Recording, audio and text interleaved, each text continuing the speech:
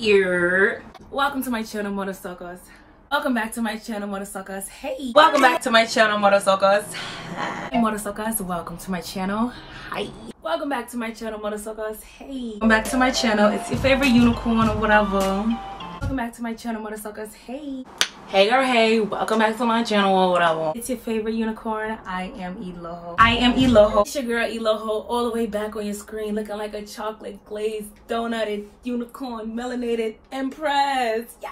I'm very extra, I'm very dramatic, I'm very loud, and I'm very, very, very chocolatey. As you can see. I just like saying that. Anyways, I'm your favorite unicorn. I am Eloho. I am your favorite fairy god unicorn. I am Eloho. Favorite unicorn, Liddy Love, mother of the universe. I really just be giving myself these titles and I don't know why, but it's just like, it just comes naturally. So I just say it. This is the latest side of YouTube. And welcome to the Lydia's. Uh, we are family.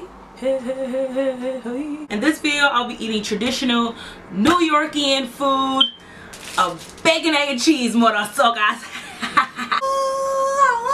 to all my new subscribers. Girl, where you been? Like, we was waiting for you.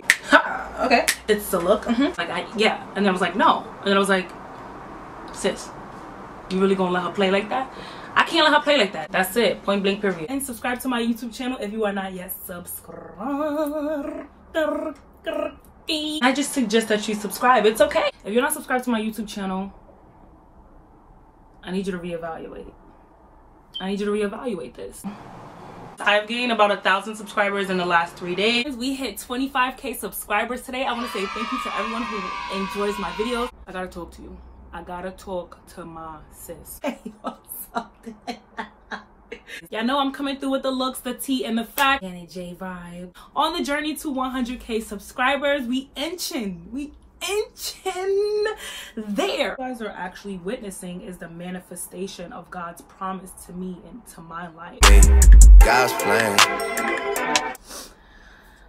It's fine to be inspired by people, but at the end of the day, you have to be yourself. We all have our own paths in life. It may look like we're all doing the same thing, but we're not, you know, and there's nothing wrong with being a partner, being a sister, being a friend to someone, but at the end of the day, you have to walk your path.